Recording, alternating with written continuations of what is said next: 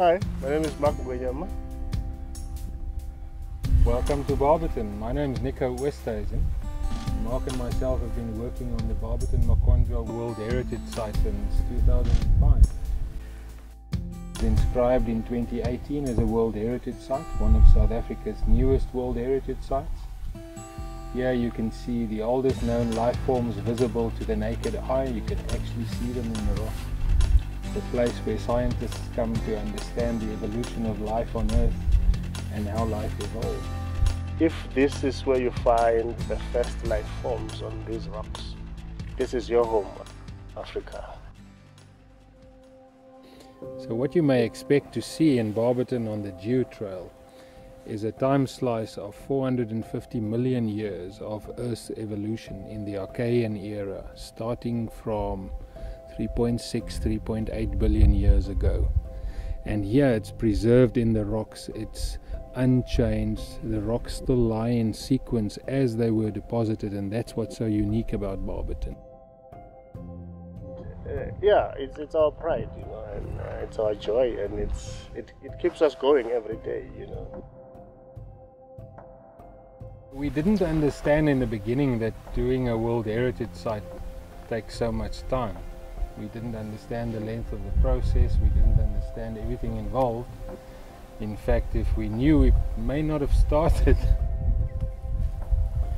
Uh, but this place is so important. It is quite humbling also, and, and uh, we can only appreciate the general society, our government, both in both in all spheres, in fact, national, local, district, our traditional authorities. I think the key thing about this entire project was that it was a partnership project, a partnership between communities, government, private sector, everybody working together. This was a true team effort. Look, the beauty in this whole thing, I think there should be some lessons that should be shared. An appreciation on, on, on, on the mostly neglected area, uh, which is your traditional authorities. And that also, they have a role that they've played, which is very crucial.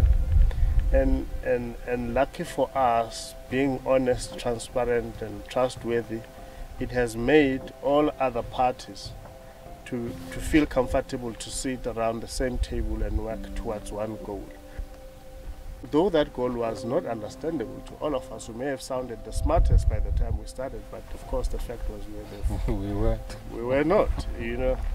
And, and nevertheless, that has helped towards making it easy. So the problem was, with it was that it was a rock, it was small, it was microscopic, and it was academic. So to have people understand that academic subject, and I think that's where the GeoTrail came in that we developed. The purpose of the GeoTrail was specifically to to have local people actually understand what they have in their backyard and to have a product that we could actually say, listen, this is what's unique. There is something unique here, and the GeoTrail unpacks that and makes it accessible to the public. The product of it also it extends to starting to see local children coming up, following in their footsteps. The international colleagues that I'm talking about. Uh, on this one, I'll mention a name, Pumelele Mashele. She's amongst those that benefited here. She's doing now her, her master's. I think her honors. She was traversing this mountain, which, which is quite exciting, you know.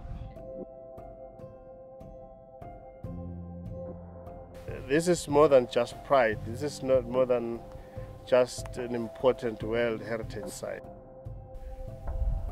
Whoever says I'm from Barberton, you know, they say, oh, you, you, I mean, you're coming from those mountains that are now on, on, on United Nations. And, and for me, it's something that we've never had before. It's, it says to me, enjoy it. Bask in the sun, black child, black person, you know. You are part of the world now, you know. Uh, and, uh, and for me, it keeps me excited every time. I always even tell my son, my wife at home, I say, I so wish people could appreciate what is out there, those mountains. And, and begin to, when they talk to their children, encourage them to, to be educated, specialize in those fields. We've got the nature reserves here. And yeah, those are combined things that, that one continuously have in his mind and they just trigger more, more joy and excitement.